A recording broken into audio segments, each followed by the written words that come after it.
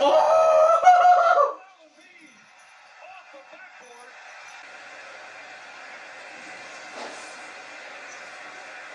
How about a man this size able to do this?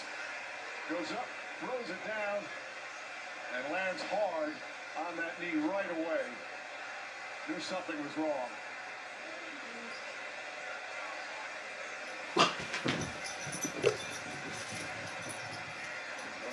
Well, Embiid will take their time checking him out, getting him to sit up now.